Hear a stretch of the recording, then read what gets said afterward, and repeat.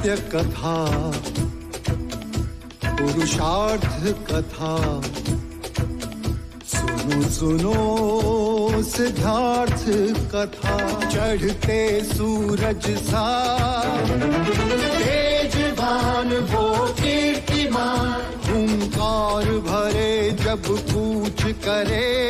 थर थर कांपे आसमान, वो राजपुत्र, वो शूरवीर पर्वत को भेद दे उसके तीर।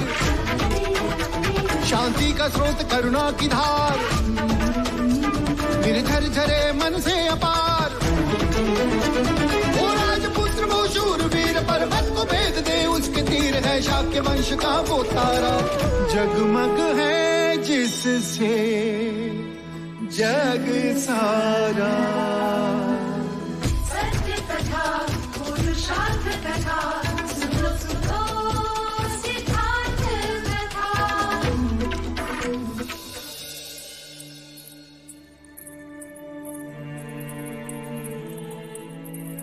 मंजरिका युवराज को कहीं देखा है? हाँ अश्वशाला की ओर जाते हुए देखा उन्हें चन्ना सिद्धार्थ को कहीं देखा? वो सामने वाली टेकरी है ना उसके पेड़ के नीचे बैठा।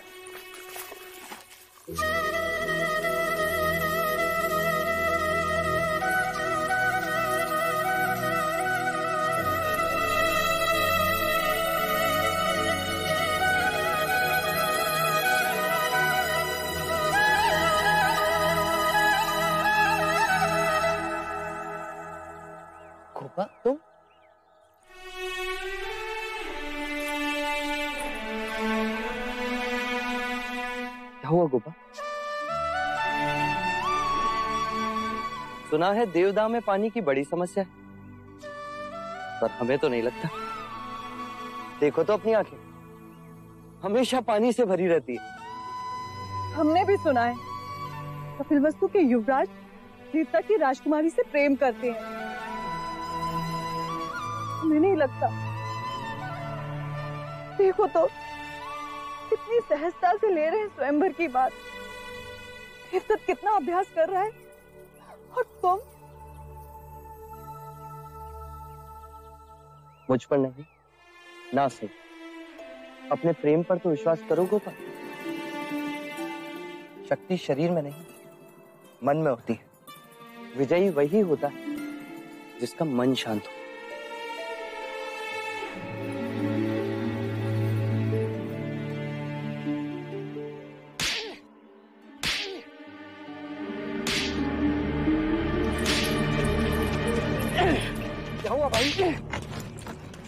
निर्दयता से क्यों मार रहे हो? प्रणाम युवराज।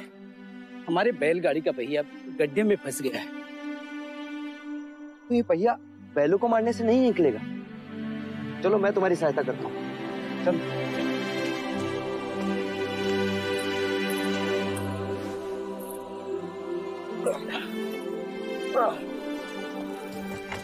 रुक जाइए युवराज। ये आप क्या कर रहे हैं? सहायता। सहायता या पाप?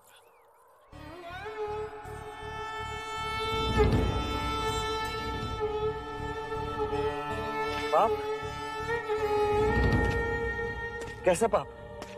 क्या आप नहीं जानते? ये एक शुद्र है। और तुम ओछी जाति के युवराज को रोकते तक नहीं।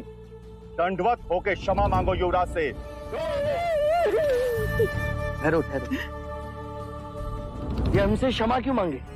इसने आपको छूने का अपराध किया है। इसने मुझे नहीं मैंने इसे छू क्षमा युवराज पहले इसने इस ब्राह्मण मार्ग में आने का अपराध किया है। कैसा अपराध? ये मार्ग सबके लिए है। ये सृष्टि ये जल वायु मिट्टी। ये ईश्वर का अपराधी है और इसे दंड मिलना चाहिए। उसी ईश्वर ने इसे बनाया है जिसने तुमको और यदि ये ईश्वर का अपराधी है तो इसे ईश्वर ही दंडित करेगा। तुम होते कौन हो इसे दंडित करने वाले? तुम केवल ब्राह्मण, अधिकारी नहीं, अधिकारी ईश्वर है। युवराज हम इस सृष्टि पर ईश्वर का प्रतीक हैं, इस धरती पर भगवान का रूप हैं। केवल हम वेदांती पूजा पाठ कर्म से पुण्य के अधिकारी हैं, पुण्य के! यदि ये सत्य है तो कर लेते हैं तुम में और इसमें तुलना। इस मनुष्य ने अपने खून पसीने से इस मिट्टी को सींचा है। फल, फूल उगाए। क्या तुम्हारे वेदांत इन्हें मुरझाने से रोक सकते हैं? क्या तुम इस धरती पर भगवान का प्रतीक, इस फंसे हुए पहिए को बिना हाथ लगाए निकाल सकते हो? आप हमारा अपमान कर रहे हैं युवराज। अपमान तो आप इस मनुष्य का कर रहे हैं। मत भूलिए युवराज। आप धर्म पर विवाद कर रहे हैं धर्म पर। मैं मनुष्यता को बचा रहा हूँ विप्र। विवाद धर्म पर नहीं धर्म के नाम पर उठ रही घृणा पर। धर्म की सार्थकता संपूर्ण मानव जाति को एक करने में है उसे जोड़ने में न कि तोड़ने में। वर्ण कर्म के अनुसार न कि धर्म के अनुसार। धर्म सबसे श्रेष्ठ है युवराज सबसे श्रेष्ठ जो मनुष्य को अपनी मर्यादाओं से परिचय करवाता है परिचय करवाता है। उस धर्म को बनाया किसने? मनुष्य हम कहते हैं कि हम सब मनु की संतान हैं, ब्रह्मा के वंशज। क्या कभी आपने शंकर की जाति पर पूछा है? कभी आपने ब्रह्मा के गोत्र को पूछा है? या कभी विष्णु के वर्ण को पूछा है? जब हम एक मनु की संतान है तो ये भी उतना ही ब्राह्मण है, जितना कि तुम। और यदि नहीं तो तुम भी उतने ही शुद्र हो जितना कि ये।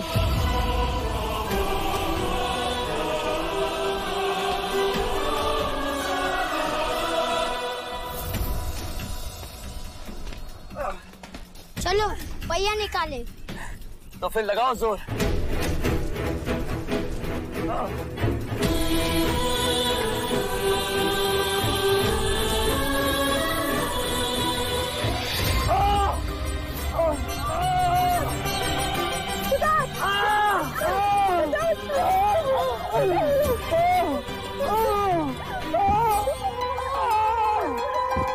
युवराज ये ईश्वर का दंड है।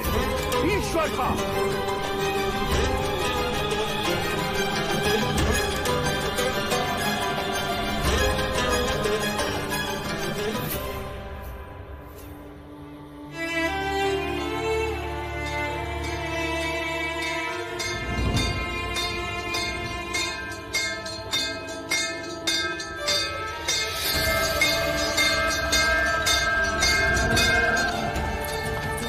सिद्धार्थ को क्या आवश्यकता थी ब्राह्मणों का विरोध करने की? ये आप कह रहे थे आपने भी तो मुनि का विरोध किया। है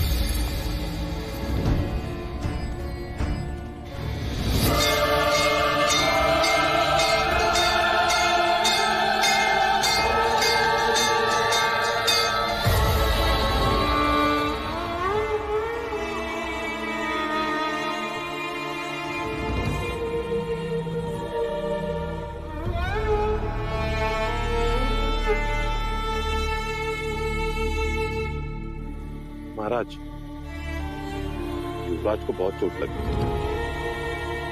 इनकी दो उंगलियों की हड्डी टूटी हुई है।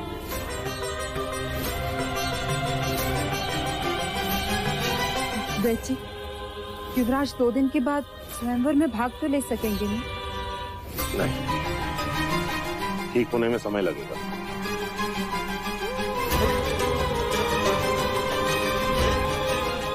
क्या होगा?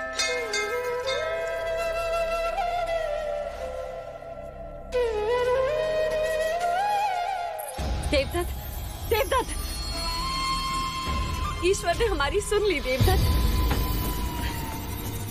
ईश्वर ने हमारी सुन ली।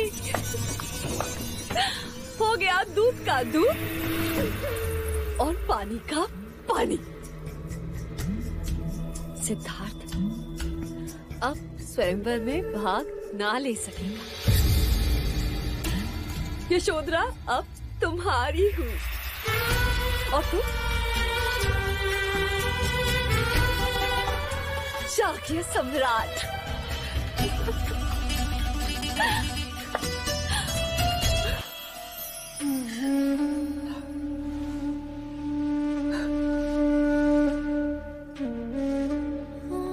आप तो अंतर्यामी परंतु प्रभु,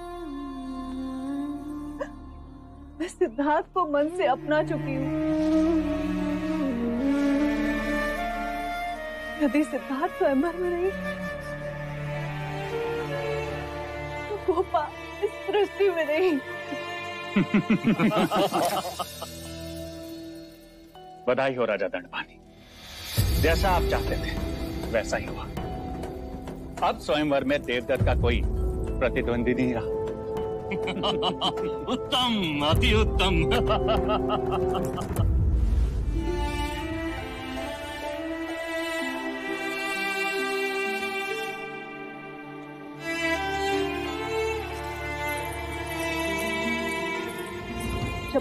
तक सिद्धार्थ स्वयंवर नहीं जीतता। अन्य जल का त्याग कर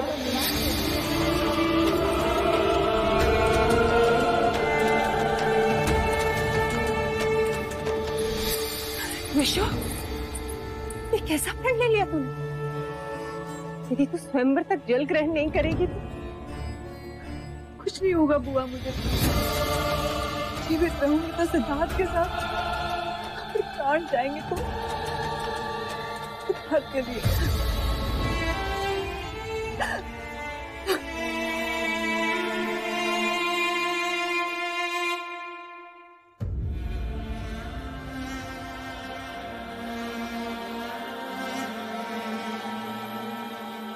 कैसे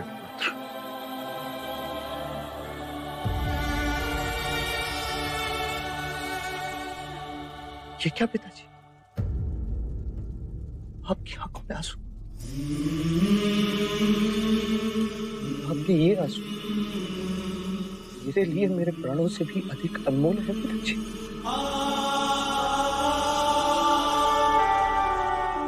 आप स्वयंवर के बारे में सोच। रहे आप ही कहते हैं ना पिताजी, क्षत्रिय को लड़कर ही सब कुछ प्राप्त करना पड़ता है। तो मैं क्षत्रिय हूँ। यदि स्वयंवर में गोपा को अर्धांगिनी बनाना तो मैं प्रतिस्पर्धी हूँ। परंतु तुम्हारी ये चोट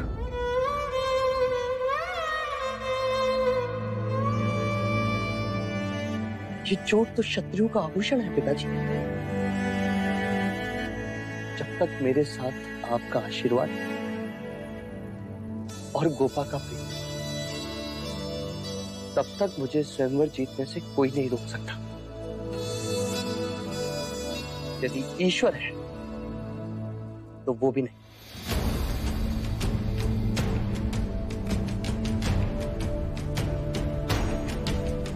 यशस्वी भवा।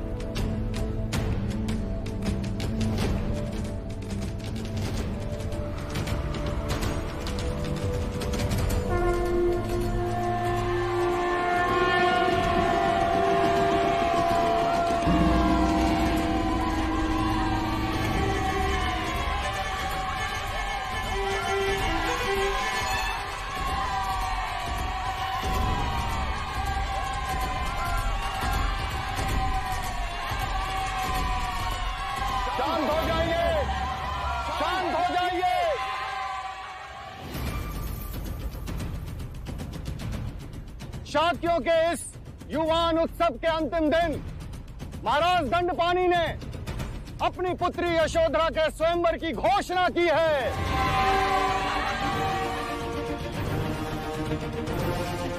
जो इस परीक्षा में विजयी होगा, वो राजकुमारी यशोधरा के साथ विवाह करेगा।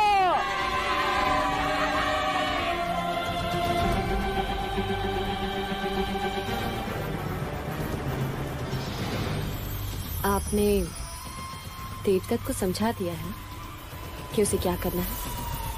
समझा दिया और आचार्य धर्मनिष्ठ को भी समझा दिया तो सब संभाल लेंगे।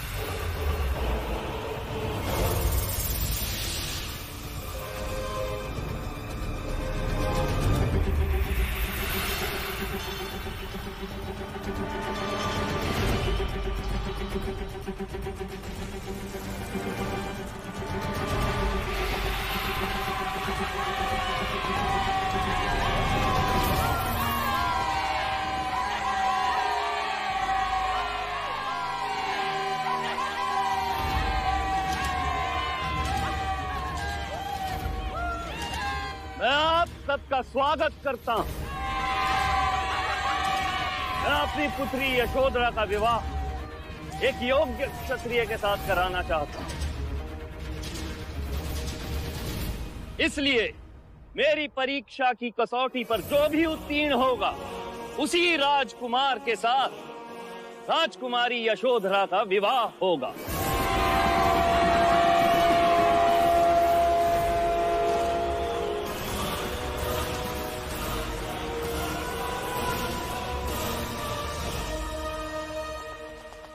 युवराज ये लीजिए। ये क्या? है ये जंगली गोंदवाना कारक है। ये तुमने बहुत अच्छा किया चन्ना। जो ये औषधि लेकर आए रखो रखो। युवराज अब हम अपने दोनों हाथ इसमें डालिए।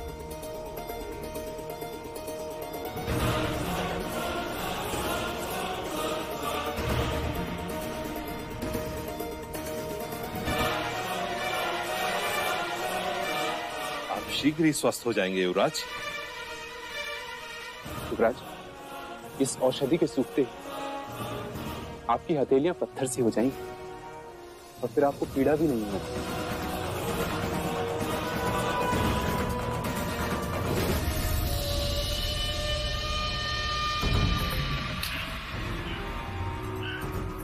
देवदत्त तुम्हें चिंता करने की आवश्यकता नहीं। क्योंकि सिद्धार्थ की उंगलियों में चोट लगी वो अब अपनी योग विद्या से तुम्हें बेसुध नहीं कर सकता। तुम केवल यही प्रयत्न करना। युवराज की उंगलियों के घाव पुनः हरे हो जाए। जाओ देवता, जीत लो यशोधरा को।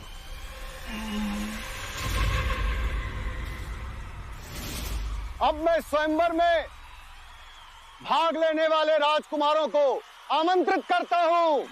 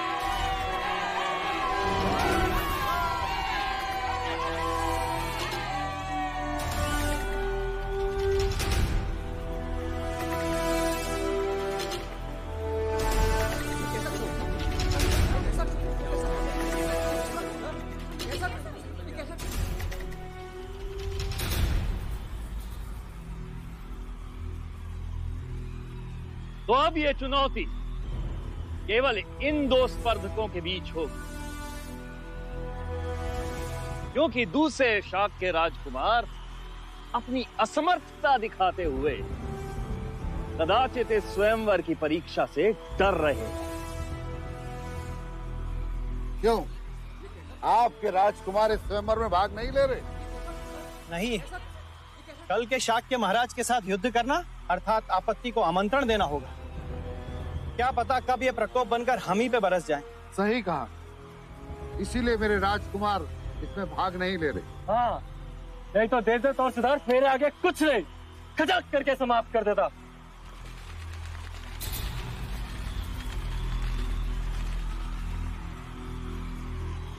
कुमार देवदत्त और युवराज सिद्धार्थ के समक्ष रखे इन घड़ों में। एक एक अंगूठी रखी गई है। जो भी पहले अंगूठी ढूंढ निकालेगा वही स्वयंवर की परीक्षा निश्चित करेगा। सिद्धार्थ के घड़े में अंगूठी है ही नहीं।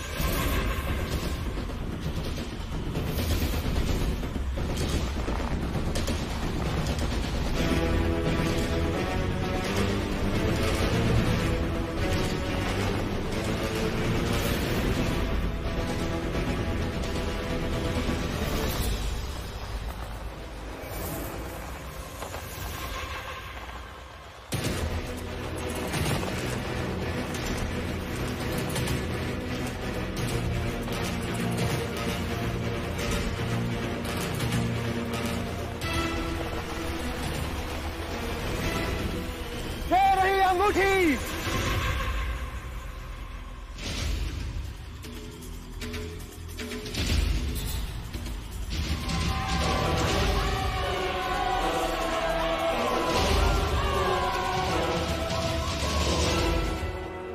तो स्वयंवर की परीक्षा कुमार देवदत्त ही निश्चित करेंगे।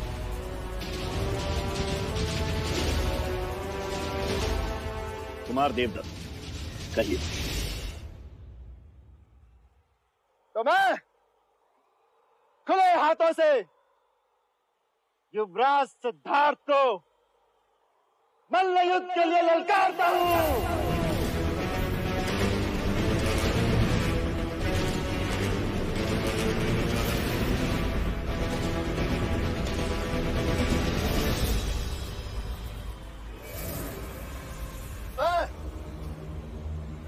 खुले हाथों से युवराज सिद्धार्थ को मल्ल युद्ध के लिए ललकारता हूँ।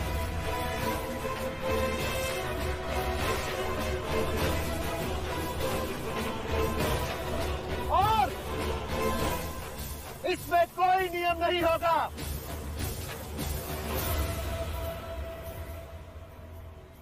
अंत में जो अपने पैरों पे खड़ा रहेगा, वही विजयी होगा।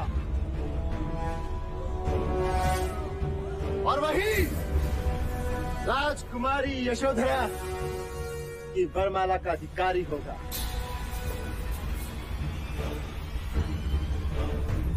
मल्लयुद्ध परंतु सिद्धार्थ के हाथों में घाव है वो कैसे लड़ेंगे? तुम साहस रखो पुत्री।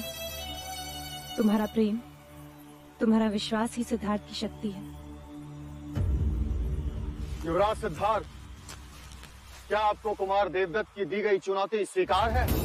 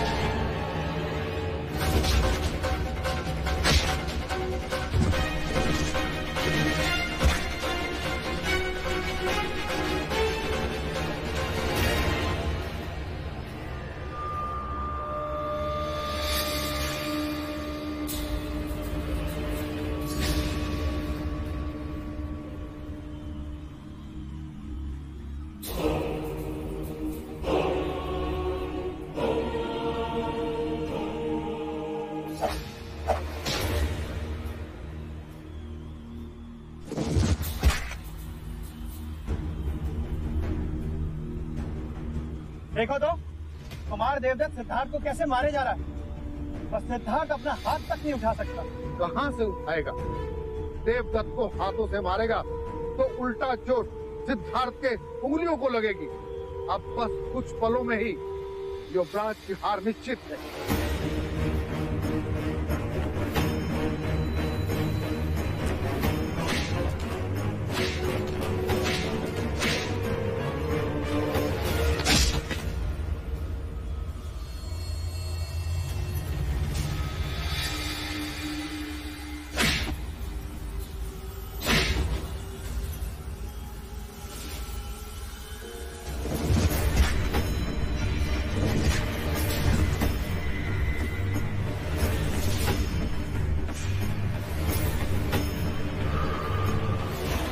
कुछ देर एक बार ये औषधि सूख जाए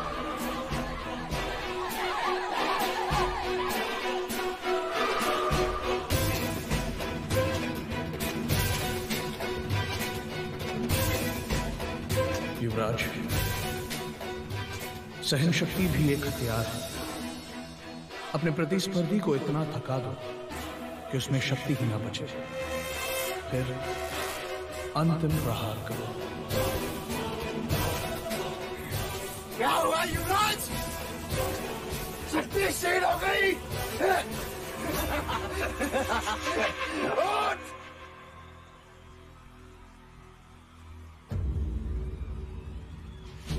तो आप हो ज्येष्ठ? अरे अब भी समय सिद्धार्थ। अपनी पराजय स्वीकार कर ले और बाहर हो जाओ स्वयंवर से। अन्यथा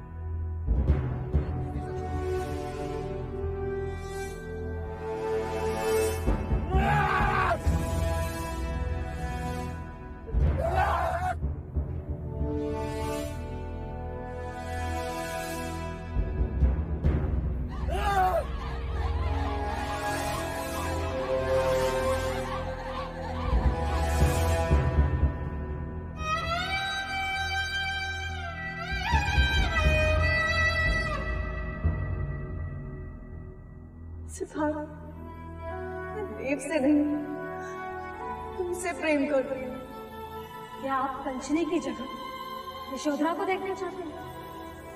मैंने तुम्हें अपना जीवन साथी दे दिया। स्थान किसी और को नहीं दूँगा।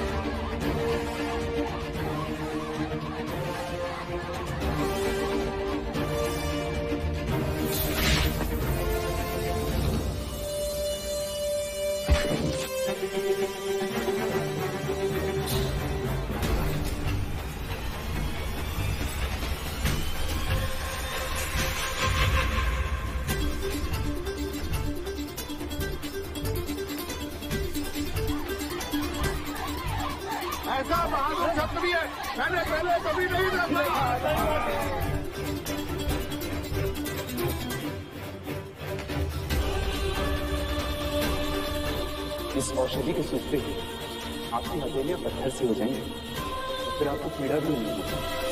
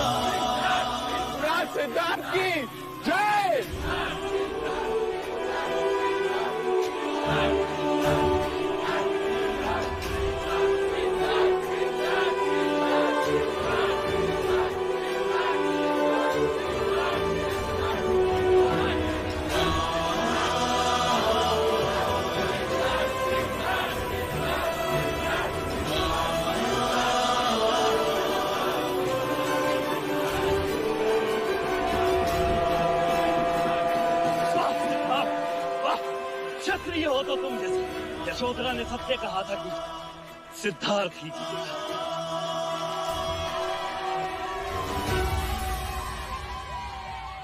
मुझे यह घोषणा करते हुए अत्यंत आनंद प्राप्त हो रहा है कि मैं अपनी पुत्री यशोधरा का हाथ विजय युवराज सिद्धार्थ के हाथ में सौंपता हूँ।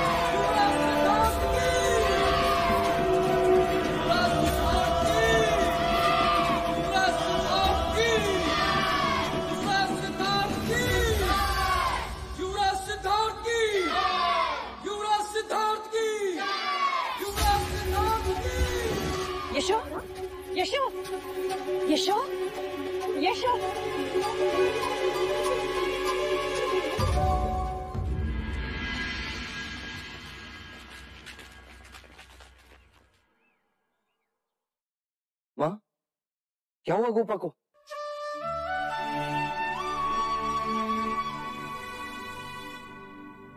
बताइए ना।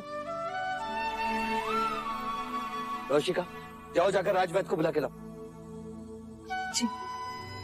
ठहरो रोशिका। सिद्धार्थ राज्य को बुलाने की कोई आवश्यकता नहीं है। इसे केवल जल पिलाने की आवश्यकता है। क्यों? क्योंकि जिस दिन से तुम घायल हुए हो इसने अंजल त्याग दिया है।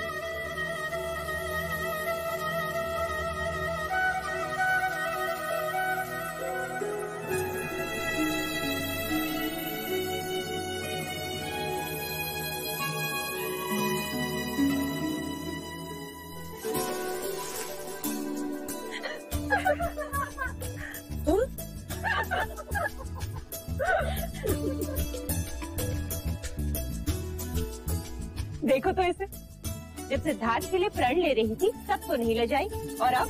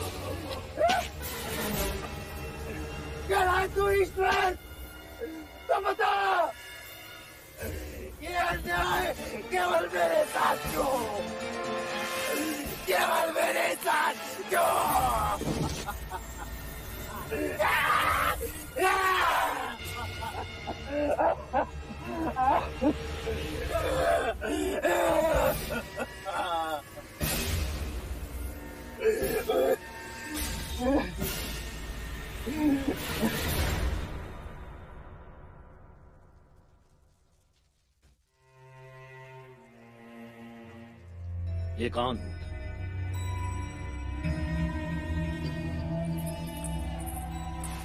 अरे राजा द्रोणोदन आप कब आए?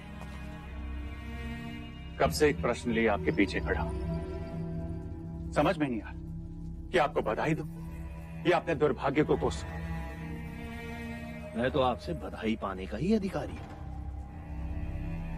मेरी पुत्री को सिद्धार्थ जैसा शूरवीर और योग्य वर जो मिल गया है।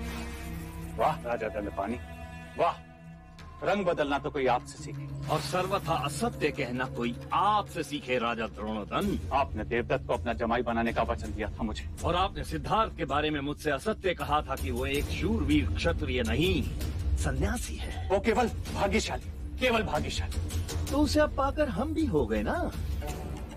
भाग्यशाली?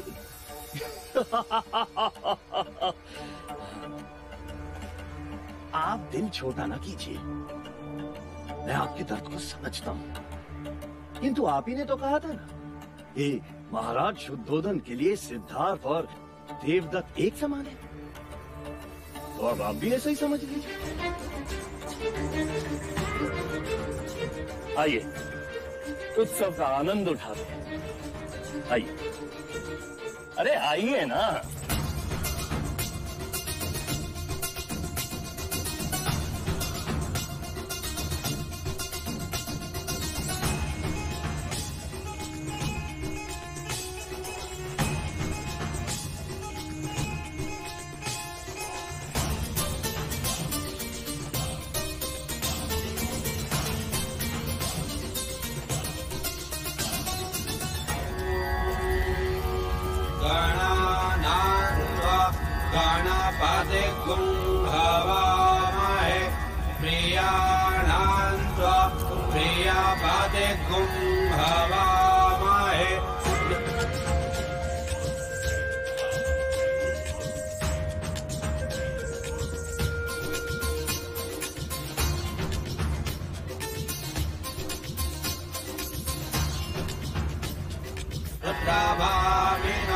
स्वधीरे हविष्मन्तः सदमित्वा हवामहे स्वाहा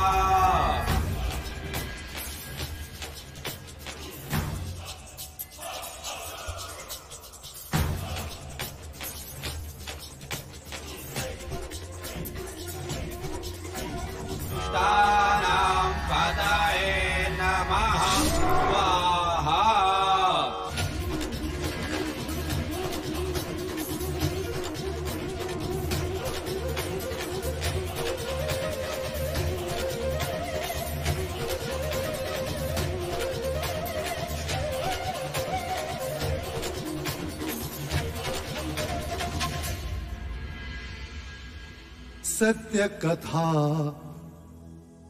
पुरुषार्थ कथा। सुनो सुनो सिद्धार्थ कथा।